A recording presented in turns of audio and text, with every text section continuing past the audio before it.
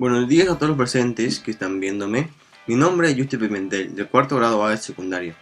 Y en esta oportunidad, para la Feria de Ciencias Eureka 2020, les presento el proyecto de generador eléctrico de dínamo.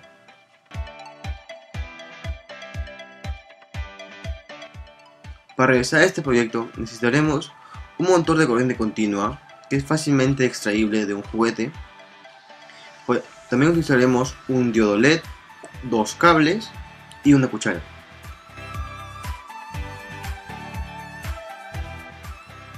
Comenzaremos soldando los cables a las diferentes polaridades del motor respectivamente. Una vez soldado el motor, seguimos con el diodo LED. Hay que tener en cuenta que el diodo LED tiene polaridad, así que si se ponen mal los cables, el diodo LED no encenderá.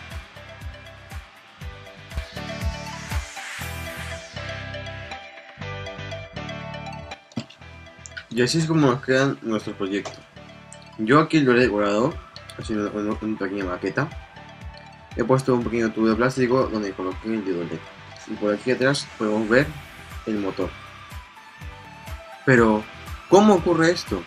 Bueno, esto se da ya que al introducir energía eléctrica al motor, como habitualmente se, se hace, eh, se expulsa energía cinética. Pero, ¿qué tal si invertimos esta operación?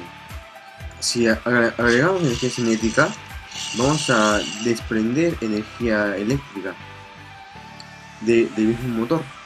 Pero, ¿cómo ocurre esto? Bueno, esto es fácil de explicar. Al meter energía eléctrica al motor, dentro del motor hay dos bobinas, una arriba, otra abajo, que son alambre de cobre enrollado. Y en medio tiene un imán, un imán de neodimio. ¿Ok? Al pasar energía por, las bobinas de alambre de cobre, hace girar al, imán, lo cual produce el movimiento. Pero, ¿qué tal si nosotros movemos el imán? Al mover nosotros el imán, creamos energía a través de los cables de cobre, en la cual sale siendo expulsada por los cables y llevada hasta el LED. Aquí un pequeño fragmento de cómo se vería en la oscuridad.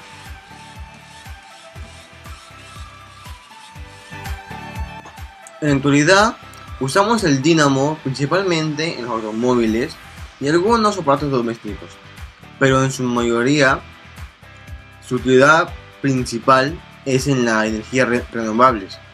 En la obtención de energía eólica, el viento mueve las aspas conectadas al eje de la dínamo, produciendo electricidad. Y bueno, muchas gracias, eso fue todo, nos vemos hasta la próxima.